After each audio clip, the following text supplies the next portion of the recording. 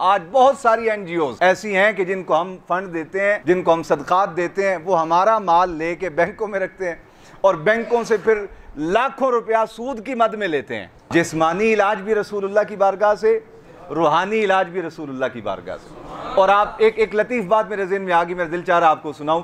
आप सीरत रसूल की तमाम किताबें उठा के देख लें, आपको हुजूर के ज़माने में कोई हकीम मैसर नहीं आएगा। हुजूर के ज़माने में कोई हकीम नहीं था। नबी पाक के दौर में कोई तबीब और डॉक्टर नहीं था। इसलिए कि उस वक़्त के लोगों को किसी तबीब और डॉक्टर और हकीम को और हस्पताल और किसी क्लिनिक की ज़रूरत ही नहीं थी। जिस्मानी तकलीफ़ पहुँचती, वो भी रसूलुल्लाह की बारगाह से हल हो जाती। रूहानी तकलीफ़ पहुँचती, उसका अजाला भी सरकार की बारगाह से हो जाता। देखो ना, तस्वीर का एक रुख तो नहीं ना होता। एक आप देख रहे हैं, एक पीछे वाला देख रहा है। जब बंदा दोनों रुख देखता है तो फिर ही बात की हकीकत का पता चलता है।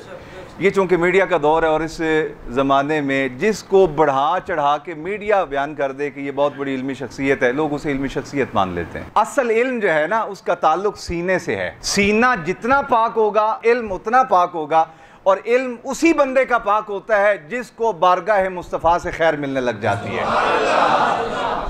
वगरना तो बड़े बड़े ऐसे इल्म वाले दुनिया में हुए हैं कि जिन्होंने ऐसा ऐसा गंद खोला है कि बंदा उस पर एतमाद नहीं कर सकता कि ऐसा बंदा पढ़ा लिखा भी ये बात कर सकता है। इंसान को ही ये इख्तियार दिया गया ना कि उसने वायरलेस बनाया। यहाँ बैठ के अमेरिका के अंदर बैठे हुए आदमी से वायरलेस पे बात कर रहे हैं। हर आदमी की जेब में वायरलेस है। अगर आपको ये इख्तियार है आप एक ऐसा पुर्जा ईजाद करते हैं कि जो ये कमाल रखता है, एक बंदा लाहौर में बैठा है, एक अमेरिका में बैठा है, वो दोनों की बात करवा देता है, बाबा, ये आपको अल्लाह ने कुवत दी है तो आप इससे अंदाज़ा लगा लें कि जो नायब रसूल था आदल साहब था मुजैन मिम्बर वल महराब था, उमर बिन खत्ताब था।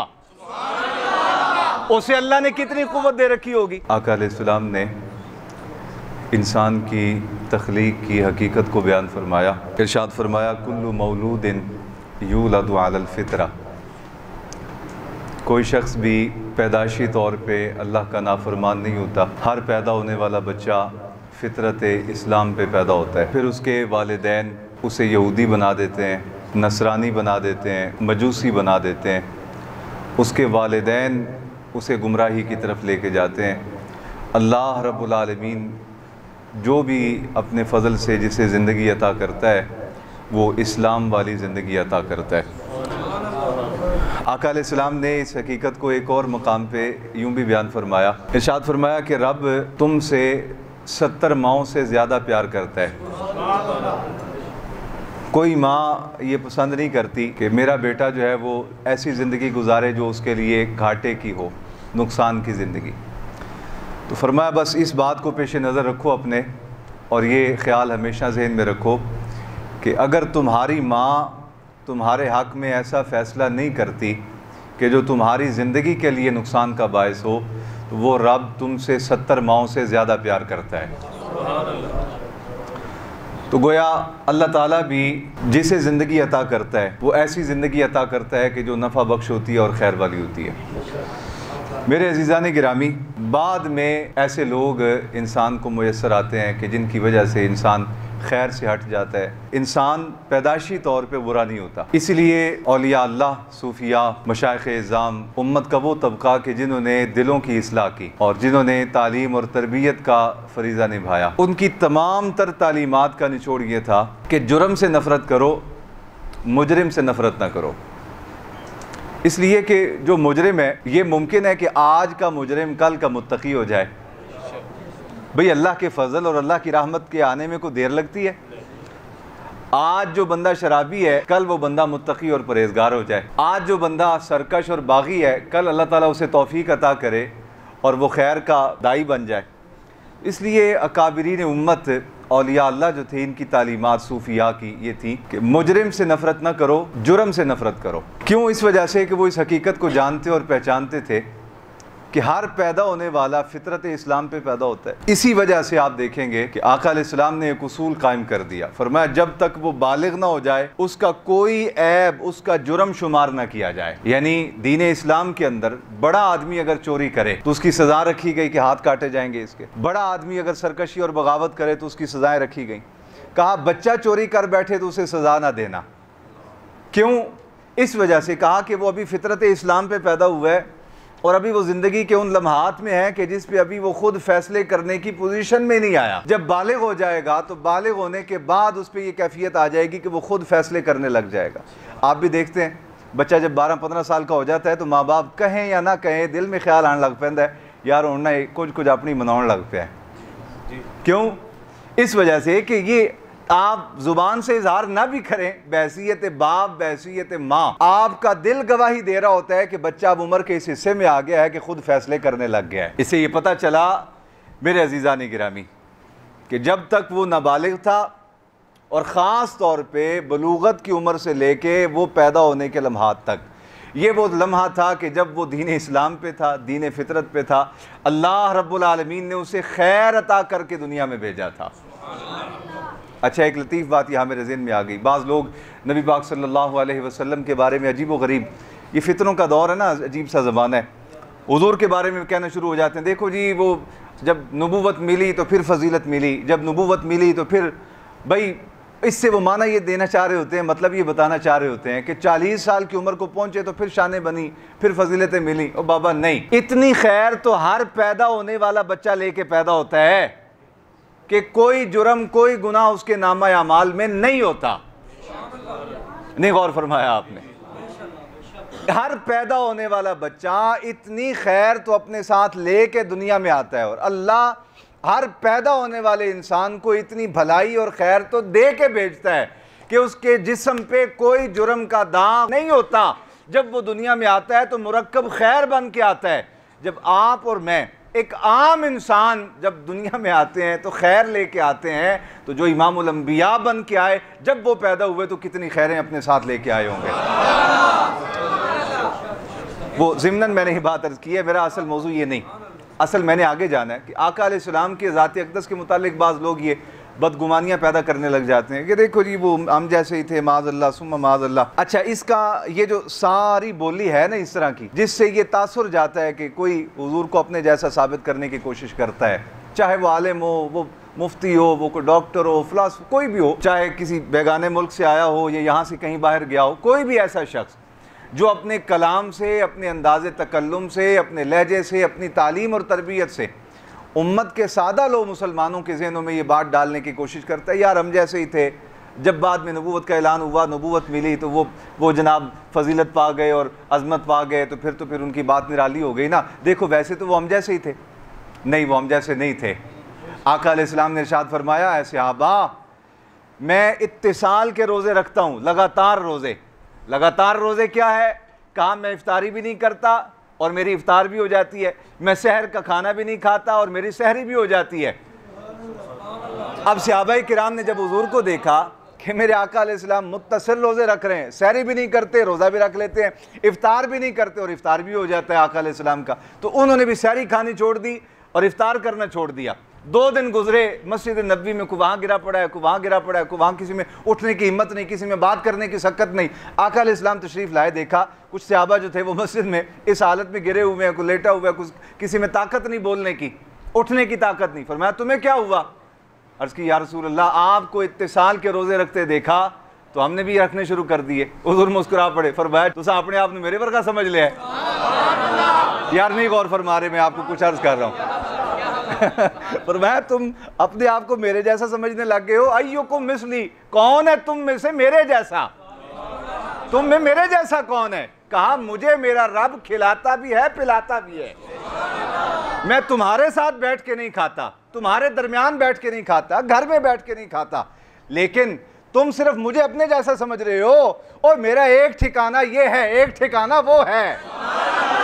और इसको अगर समझना हो ना, इसको अगर समझना हो तो कसीदा मेराज जहाँ मेरे इमाम ने लिखा, वहाँ इशारा दिया। कहा, उसी के जलवे, उसी से मिलने, उसी के जाने पलट गए हैं। लोग यही समझते रहे नबी हजूर मेराज पे गए हुए हैं।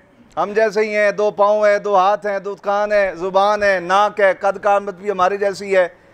अच्छा बड़ी बात है, चलो मेराज पे चले गए जो साहिब नज़र थे, उन्होंने कहा, नहीं, उसी के जलवे उसी से मिलने, उसी के जानब हाय हाय हाय।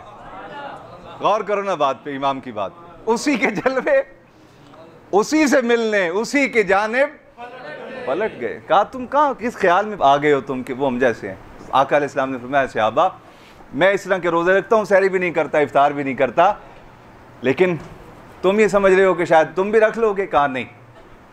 मेरा रब मुझे खिलाता भी है और पिलाता भी है। बाबा इतनी खैर तो मेरा और आपका पैदा होने वाला बच्चा भी लेके पैदा होता है कि उसके नामा अमाल में कोई गुनाह नहीं होता। इतना पाक तो वो भी होता है। तो इमामुलम्बिया की तहारत का अंदाज़ा कौन कर सकता है? एक बात ये चूँकि ये इसलिए मैंने ज़रूरी समझी कि इस वक्त पा, पाकिस्तान में और पूरी दुनिया में मीडिया का दौर है। और लोगों का अकीदा और नज़रिया वही बनता है जो मीडिया पे चलाया जाता है। एक बात मुझे आ गई जेन में मैं कर देता हूँ। हमारे बाबा जी मौलाना खादिम हुसैन साहब रहमत वो जब तजब्जुब का ज़माना आ गया ना तजब्जुब का ज़माना। तो कसूर में एक बच्ची के साथ ज़्यादती हुई तो आप जनाजा पढ़ाने के लिए वहाँ गए। तो वहाँ बहुत सारे मीडिया के एंकर भी जमा हो गए कैमरे शैमरे लेके। तो वो बात चली तो कहने लगे बाबा जी ने कहा कि यार तुम ना अपने कोलो ही कोई नज़रियात घाड़ के वी ते बयान कर हो। कभी सही आए ना वेखना हो मैनू टी वी ते बिठाया जाए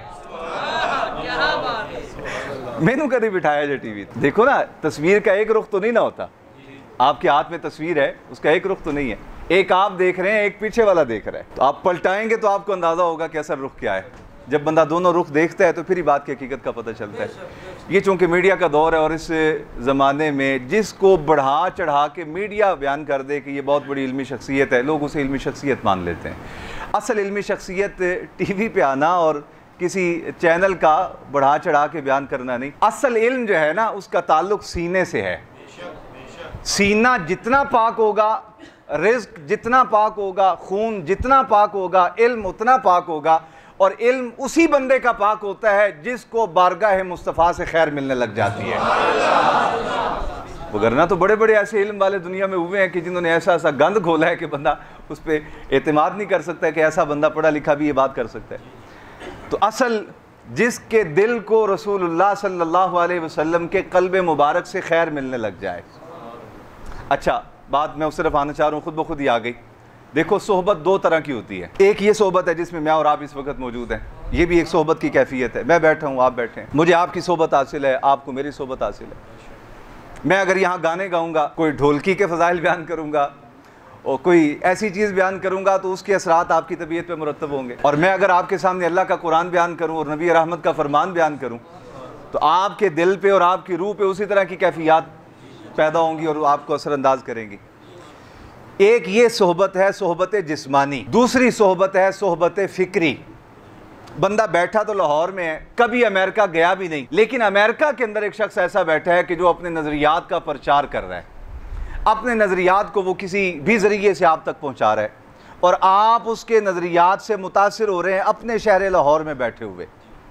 आप उसे सुनते हैं यूट्यूब पे फेसबुक पे, दीगर सोशल मीडिया ऐप्स पे, किसी ने टीवी बना रखा है, कोई न्यूज़ चैनल पे आता है। तो गोया ये आपका सुनना, ये भी एक फिक्री कैफियत है, सोहबत की कैफियत है। तो दो सोहबतें हैं, एक सोहबत है जिस्मानी, जो मुझे और आपको इस वक्त हासिल है कि हम मस्जिद में बैठे हैं और एक साथ बैठे हैं। दूसरी सोहबत सोहबत फिक्री है। दोनों सोहबतें इंसान के ईमान को मुतजलजल भी करती हैं और इंसान के ईमान को मुस्तकम और कायम भी करती हैं। इस पे एक मिसाल मैं दौरे फारूक आज़म से देता हूँ। आपका ईमान ताज़ा होगा। हज़रत सारिया लश्कर की क्यादत कर रहे हैं। हज़रत सैदना फ़ारूक आज़म रज़ी अल्लाह तु का दौरे हुकूमत है। आप मस्जिद नबवी में खुतबा इरशाद फरमा रहे हैं। ये बात जहन में रखिएगा कि फिक, सोहबत दो तरह की है। जिसमानी और, बोलो ना, फिक्री। हज़रत फ़ारूक आज़म मस्जिद में खुतबा इरशाद फरमा रहे हैं, दौरान वाज। आपने जुमला इरशाद फरमाया, या सारिया तल जबल ए सारिया पहाड़ की ओर दे और वहाँ कैफियत ये थी कि वो मैदान जंग में थे, जंग लड़ी जा रही थी और दुश्मन जो थे, चूँकि इलाका दुश्मन का था, वो सारे रास्तों से वाकिफ थे, ये अजनबी थे, वहाँ मुसाफिर थे। तो दुश्मन ने पीछे से पहाड़ी की ओर से वार वार करना चाहा। अब हज़रत फारूक आज़म मस्जिद नबी में है और हज़ारों मील का फासला है। सोहबत दो तरह की है, जिस्मानी भी और हज़रत सारिया और उनका लश्कर मस्जिद नबी में मौजूद नहीं, शहर मदीना में भी मौजूद नहीं। हज़ारों मील की मुसाफत पे वेला भी नहीं बैठा, मसरूफ है मैदान जंग में, जंग लड़ रहा है, लेकिन सोहबत को समझिएगा। हज़रत फ़ारूक आज़म रदी अल्लाह तन हो किसी के जहन में आएगा ये ये सवाल कि कैसे जनाब फ़ारूक आज़म ने देख लिया और कैसे आवाज़ दी और कैसे आवाज़ पहुँची? बाबा अल्लाह के करम की हम बात नहीं करते। हम आपके दुनियावी इख्तियार की बात करते हैं। इंसान को ही ये इख्तियार दिया गया ना कि उसने वायरलेस बनाया। यहाँ बैठ के अमेरिका के अंदर बैठे हुए आदमी से वायरलेस पे बात कर रहे हैं। हर आदमी की जेब में वायरलेस है। अगर आपको ये इख्तियार है कि आप एक ऐसा पुर्जा ईजाद करते हैं कि जो ये कमाल रखता है, एक बंदा लाहौर में बैठा है, एक अमेरिका में बैठा है, वो दोनों की बात करवा देता है, बाबा ये आपको अल्लाह ने कुवत दी है तो आप इससे अंदाज़ा लगा लें कि जो नायब रसूल था आदल साहब था मुजैन वल महराब था, उमर बिन खत्ताब था, उसे अल्लाह ने कितनी कुवत दे रखी होगी? हज़रत फारूक आज़म मस्जिद नबी में है, उधर जंग जारी है। जनाब फारूक आज़म ने आवाज़, या सारिया तल जबल ए सारिया, पहाड़ की जानब देख। जमाना बीत गया, इज्तिमा खत्म हो गया, लोग चले गए, लेकिन ज़ाहिर है कि लोग जेन में रखते हैं कि सारिया यहाँ नहीं है। किन को आवाज़ दी है? हज़रत सारिया को, और जानते सारी है सारिया को। और ये भी जानते हैं कि इस वक्त मैदान जंग में है। जब पलट के वापस आए, लोगों ने अर्ज़ किया, मदीना मुनवरा के बासियों ने सारिया, अजीब मामला हुआ था। हज़रत फारूक आज़म जुमा पढ़ाते पढ़ाते बात तो नसीहत हमें फरमा रहे थे वाज हमें फरमा रहे थे। अचानक हमसे तवज्जो हटाई तुम पे तवज्जो फरमाई। और तुम्हें मुखातब करके कहा कि सारिया पहाड़ की जानब देख क्या तूने उमर बिन खत्ताब की बोली को सुना था? कहा हाँ अल्लाह की इज़्ज़त और जलाल की कसम मैंने उमर बिन खत्ताब के जुमले इसी तरह सुने जिस तरह मेरे कोई कान में सरगोशी कर रहा है। बाबा हज़रत उमर बिन खत्ताब मस्जिद नबी में मंबर रसूल पे बोलते हैं और असरात हज़ार हाँ मील की मुसाफत पे मुरतब हो जाते हैं। इसे कहा जाता है फ़िक्री सोहबत। और ये जो आज के दौर में मोबाइल का और मीडिया का ज़माना है, इसमें जो मैं और आप रोज़ाना किसी का बयान सुनते हैं, किसी का वाज सुनते हैं, ये फिक्री सोबत है। मस्जिद में आए, दरसे कुरान में बैठे, दरसे हदीस में बैठे तो ये जिस्मानी सोबत आप नमाज़ पढ़ने के लिए आए, नमाज़ के बाद पाँच मिनट का, दस मिनट का दरस हुआ, ये जिस्मानी सोबत है। और आपने रात घर में बैठ के को बीस मिनट, पच्चीस मिनट, दस मिनट, आधा घंटा घंटा किसी शख्स का, किसी स्कॉलर का, किसी आलिम का बयान सुना, किसी का दरस सुना, किसी का क्लिप सुना, ये फिक्री सोबत है। अब सैयद आलम सल्लल्लाहु अलैहि वसल्लम का ये फरमान जो मैं आपको सुनाना चाहता था, जिस पे ये सारी तमहीद बाँध के लाया, मेरे आका इस्लाम ने इरशाद फरमाया, हज़रत सैदना अबू सईद खुदरी रदी अल्लाह तु रिवायत करते हैं, फरमाते हैं, अन्नहू सामिया रसूल अल्लाह हमने सैयद आलम सल्लल्लाहु अलैहि वसल्लम की ज़ुबान मुबारक से खुद सुना, ला तो साहिब इल्ला मुमिनन। कहा, तेरी संगत किसी के साथ नहीं होनी चाहिए सिवाय मंदा मोमिन के। तेरी मजलिस, तेरी सोबत तेरी संगत किसी और के साथ नहीं होनी चाहिए सिवाय मोमिन के। क्यों मना किया जा रहा है? अच्छा बात यहाँ भी हो सकती थी, ऐसे भी हो सकती थी। अकाल इस्लाम फरमाते, यार, मोमिना कुल बैठा करो। मैं एक मिसाल देता हूँ, चलो, आसान हो जाएगी बात। कोई बंदा कहता है, यार, दूध शुद्ध पिया करो। तो बात तो पूरी है ना, भाई, दूध पियेंगे तो आपको सेहत में इजाफा होगा और आप तवाना होंगे और सेहत बहाल होगी आपकी। लेकिन वो कहता है, चाय ना पिया करो, दूध पिया करो। इसका मतलब है, वो बता रहा है कि चाय के नुकसान आते हैं। चाय के अगर नुकसान ना होते तो मना ना करते। चाय का मना करना और दूध का कहना। इसका मतलब है कि दूध की अफादियत भी बयान कर दी और चाय के बोलो ना यार, नुकसान भी बयान फरमाया, ला तो साहिब। कहा, हर एक की सोबत में ना बैठ जाया करो, हर एक की मजलिस ना इख्तियार कर लिया करो। जब भी बैठना हो किसी की सोबत में, जब भी किसी की संगत इख्तियार करनी हो, इल्ला मुमिनन। देखा करो, बंदा मोमिन है या नहीं। अब मोमिन की मैं सादी सी तारीफ़, जिनकी तवज्जो है उनको बात समझ आ जाएगी। मोमिन कौन है? मोमिन वो है जिसका ज़ाहिर, जिसका बातिन एक जैसा हो। अगर ज़ाहिर बातिन एक जैसा नहीं तो ये मुनाफ्त है। दूसरी बात अकाल इस्लाम ने इशाद फरमाई, वला याकुल ताम का फरमाया, तुम्हारा खाना सिर्फ़ मुत्तकी आदमी खाए। देखो, हम सदकात करते हैं। बहुत अच्छी बात है, सदकात करने चाहिए। सदकात से इंसान के ईमान में इजाफा होता है, इंसान के लिए खैर बढ़ती है। आका इस्लाम ने इरशाद फरमाया, तुम बीमारियों का इलाज करो, अल्लाह की राह में सदका दे के। बीमारियों का इलाज करो सदका दे। आने वाली आफतों को अपने से दूर करो अल्लाह की राह में सदका दे के तो जो इंसान किसी को खाना खिलाता है ये सदका है। और आज के दौर में माशाल्लाह उम्मत के बहुत सारे अफराद बहुत ज़्यादा तादाद में सदका देते हैं। लेकिन ऐसे हर आदमी को नहीं दे देना चाहिए। आका फरमा रहे हैं तुम्हारा माल है तुमने मेहनत से कमाया है हलाल ज़राए से कमाया है। जब देने लगो तो ख्याल करना वला यकुल ताम का तकीन जब तुम्हारा माल किसी के हलक से लुकमा बन के नीचे उतरने लगे तो मैं यार ये रखना कि वो अल्लाह से डरने वाला हो। अल्लाह के ना फरमान ना हो। जिनको तुम माल दे रहे हो, वो सरकश ना हो, वो बागी ना हो। आज बहुत सारी एन जी ओज़ ऐसी हैं कि जिनको हम फंड देते हैं, जिनको हम सदक़ात देते हैं, वो हमारा माल ले के बैंकों में रखते हैं और बैंकों से फिर लाखों रुपया सूद की मद में लेते हैं। आप गौर करें ना यार, आपकी और मेरी जेब से दस रुपये निकले वो किसी एनजीओ के पास गए और उन्होंने आगे उसे बैंक में रखा और उससे सूद लिया और फिर उससे निज़ाम चलाया। अच्छा अवलन तो आका फरमा रहे हैं कि माल भी पाक हो, बल्कि पूछा गया, या रसूल अल्लाह हराम माल अल्लाह की राह में सदका दिया जाए, कबूल हो जाता है? हजूर ने फरमाया, कबूल होना तो और बात है।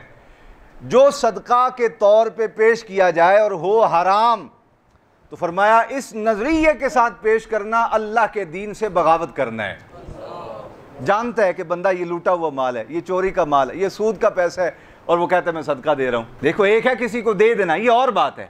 एक है उसे सदका कह के देना कि मैं सदका दे रहा हूँ, खैरात कर रहा हूँ। दोनों में अलग अलग फ़र्क है। एक चुप करके दे दिया किसी को, यार, मैं अपने से, भाई, मैं नहीं खाना चाहता, किसी ने जाके दे दो सुट दो रोड दे उत्ते को ले जाए चुप के। ये और बात है।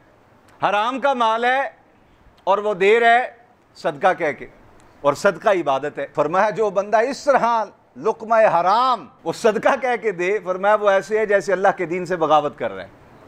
अब मैं और आप जब सदकात करें तो इस बात को भी पेश नज़र रखें कि जिसको हम दे रहे हैं, भाई, देना हमने अपने पल्ले से नहीं, अल्लाह के दिए हुए में से ही है। लेकिन देते हुए इस बात का ख्याल रखना है कि जिसको दे रहे हैं, वो दीनदार भी है कि नहीं। अगर वो दीनदार नहीं होगा, और जैसे मैंने बयान किया कि बहुत सारी एन पाकिस्तान में ऐसी हैं कि जो बाकायदा तौर पर सूद लेती हैं आपके सदक़ात से, और सूद तो सीधी सीधी अल्लाह से जंग है। इसका मतलब ये निकला कि हमने सदक़ात दे के भी अपनी तकलीफ़ें दूर नहीं की। वो स्टिल उसी जगह खड़ी है। हमने सदक़ात दे के बातिल निज़ाम को मज़ीद मज़बूत कर दिया। अल्लाह के इनकार के निज़ाम को मज़ीद ताकत और क़वत बख्श दी, सदका दे के। माल जो उनके हवाले कर दिया। आका इस्लाम क्या फरमा रहे हैं? फरमाया, सुनो, ला तो साहिब इल्ला मुमिनन, वला याकुल तामा का इल्ला तकीयुन। जब बैठना हो, मोमिन आदमी के पास बैठना, जब अल्लाह के दिए हुए में से देने लगो तो किसी नेक आदमी को खिलाना। एक और लतीफ़ बात अभी मेरे जहन में आ गई, मैं अर्ज़ करता हूँ आपका ईमान ताज़ा होगा। जो सरकश है, बागी है, बेनमाजी है, जब वो खाएगा तो वो ज़ाहिर है कि जो उसकी तबीयत की मिजाज है, वो उसी तरफ़ लगाएगा। और जो नमाजी होगा, परहेजगार होगा, आपके दिए हुए लुकमे से वो ताकत हासिल करके, जब इबादत करेगा सदका देने का सवाब अलहदा मन दल्ला खैर फ़लहू मिसल वजरफ़ाइल ही फरमाया, जिसकी ज़ात दूसरे के लिए नेकी का सबब बन जाए, जितना अजर अल्लाह नेकी करने वालों को अता करता है, उनका कम किए बगैर अल्लाह उतना ही उसे भी देता है जिसकी ज़ात उसके लिए नेकी करने का सबब बनी होती है। आपने किसी मुतकी आदमी को खाना खिला दिया, किसी नेक आदमी को खाना खिला दिया, उससे जो ताकत बनी, उसने रात नमाज़ तहजद अदा की। नमाज़ फ़जर अदा की, तिलावत कुरान की। आपका सदका देना अलग अजर और उसके सबब जो वो इबादत कर रहा है और उसकी जिस, जिसमानी कुत कुत मुदाफ़त जो बड़ी है, वो जो इबादत कर रहा है, उसका सवाब आपके लिए अलहदा।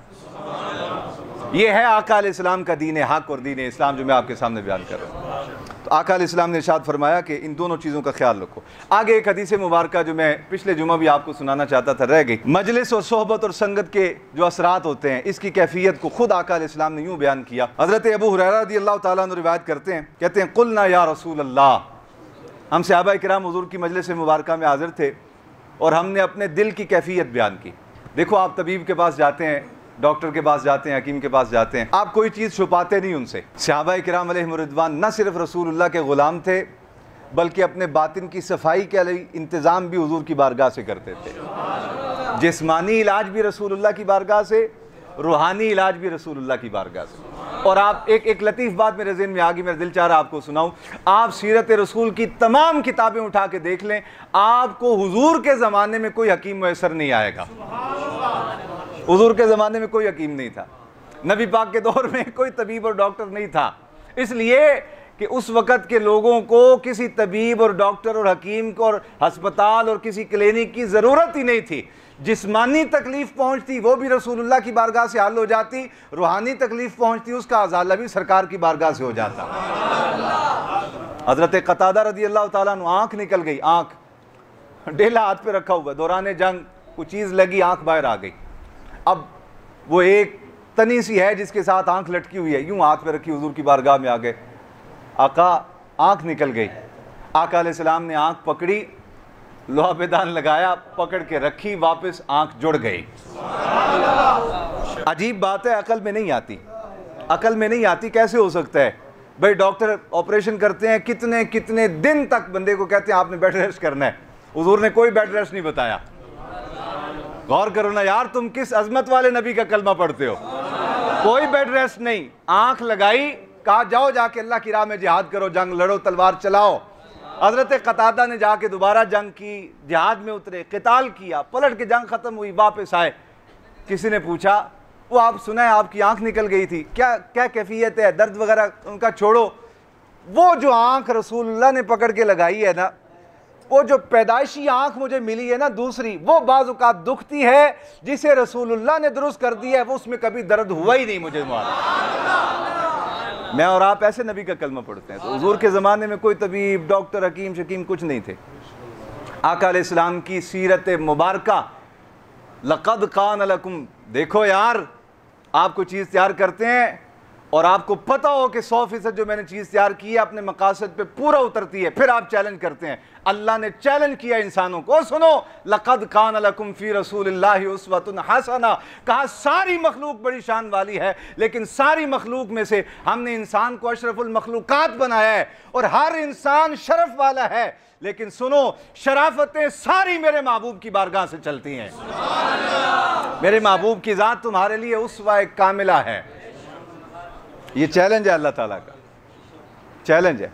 कहा, मेरे महबूब की ज़ात में तुम्हारे लिए कामिल नमून। है अब शाबाज करते हैं। कुल ना या रसूल अल्लाह हम हजूर की बारगाह में गए। अर्ज़ की, या रसूल अल्लाह मालाना, अजीब कैफियत है जिसका हम शिकार हैं, जिसको हम लफ्ज़ों में बयान नहीं कर पाते। समझ नहीं पाते कि कैफियत होती क्या है हमारे साथ। क्या कैफियत है? कहते हैं, इज़ा कुन्ना इंदा का या रसूल अल्लाह जब हम आपकी खिदमत में हाजिर होते हैं। आपकी मजलिस में बैठते हैं, आपकी सोबत में बैठते हैं, आपके पास होते हैं। रक्कत कलूबना, हमारे दिल नरम होते हैं।